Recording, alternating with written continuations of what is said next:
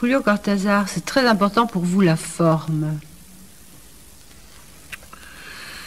Euh, ça Je dépend. parle de la littérature, mais tout est lié. Oui, euh, ça dépend. C'est-à-dire, je pense que la forme, euh, ce n'est pas une espèce de moule qui enveloppe un contenu.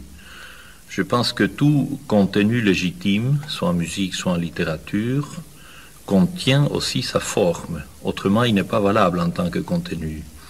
L'éternelle et absurde discussion entre fond et forme en littérature qui a fait couler tant d'encre, vous savez bien que c'est une question épuisée de nos jours.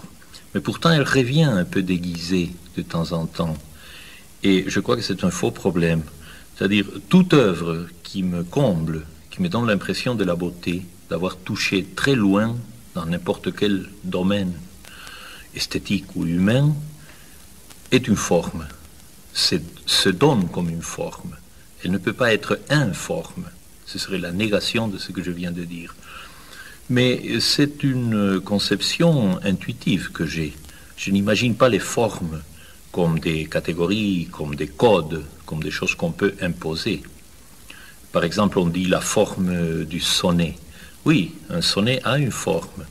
Mais quand un poète, un vrai poète écrit un sonnet, il ne l'écrit pas pour le faire entrer dans la forme sonnet. Il écrit un poème qui se donne, être qui se donne en forme de sonnet. Oui. Tout est là. Et c'est comme quand un musicien fait une sonate, ou quand un musicien de jazz improvise un solo. Il a sa forme aussi. Il sait très bien où il va commencer et surtout où il va finir. Oui, je pensais à ça parce que vous affectionnez un genre euh, littéraire qui est la nouvelle, qui, peut correspondre euh, à la petite forme euh, en musique, et qui demande une grande perfection. Oui, c'est-à-dire très souvent, je m'amuse à imaginer la nouvelle comme la musique de chambre de la littérature. C'est-à-dire, une nouvelle, c'est comme une sonate.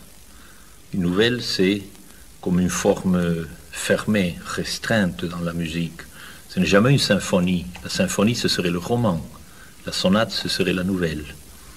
Et je pense que vous savez déjà, peut-être je vous le dis, que pour moi, la musique qui vraiment compte pour moi, c'est la musique de chambre.